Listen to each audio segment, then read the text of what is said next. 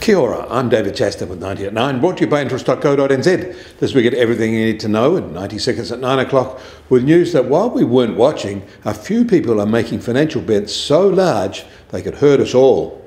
In its latest Global Financial Stability Report, the IMF says near-term risks have receded as disinflation, that is, lowering of the positive inflation rate, is entering its last mile zone. But they warn that medium term vulnerabilities are mounting, and one of those comes from the hedge fund sector. The IMF says that a small group of very large firms in this sector has built up an enormous short bet on global stability. One so large that, if as seems likely these bets are wrong, that could be a problem for us all. Meanwhile, in the US, the number of new claims for jobless benefits was marginally less than in the prior week at 208,500 and this was less than analysts' expectations. Those waiting for early signs of US labour market stress are still waiting. It has been a full two and a half years of weekly reports saying broadly the same thing, and there are few signs this will change anytime soon. One reason the wait may be longer is that the powerhouse Pennsylvania New Jersey Rust Belt manufacturing region seems to be on an upswing. The Philly Fed factory survey for April delivered positive new order and activity levels.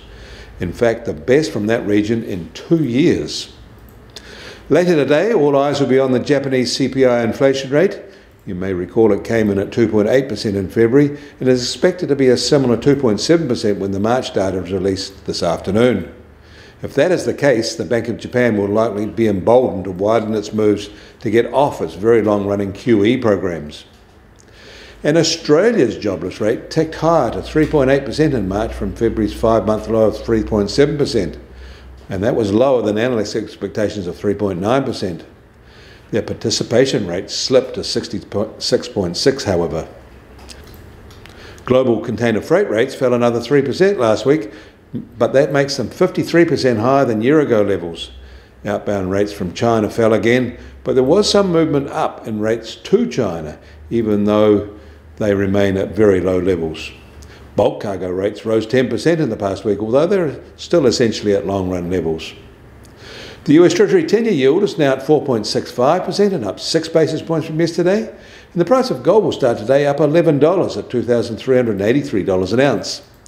And despite those continuing Middle East tensions and uncertainties, oil prices have stayed lower at just under 82.50 a barrel in the US, while the international Brent price is down 50 cents to 86.50 a barrel. And the Kiwi dollar starts today at just on 59 US cents and a minor 10 basis points softer from yesterday. Against the Aussie, we're unchanged at 91.9 Australian cents. Against the euro, we're also marginally softer at 55.4 euro cents. That all means our trade weighted index starts today at just on 69 and essentially little changed. You can get more news affecting the economy in New Zealand from interest.co.nz. Kia ora, I'm David Chaston, and we'll do this again on Monday.